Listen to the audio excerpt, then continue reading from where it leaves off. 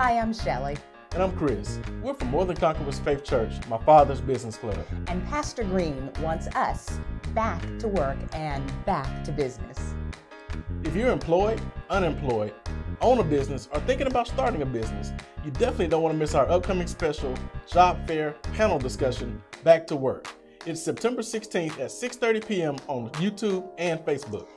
Also, you have an opportunity to experience the dynamic teaching and preaching of our pastor as only he can do it. One last thing if you're looking for a job, Amazon is holding a virtual job fair career day the same day as our event.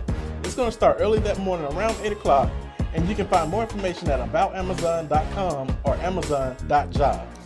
So don't forget, get a pad, get a pen, and be ready to take notes for our virtual job fair and business panel discussion.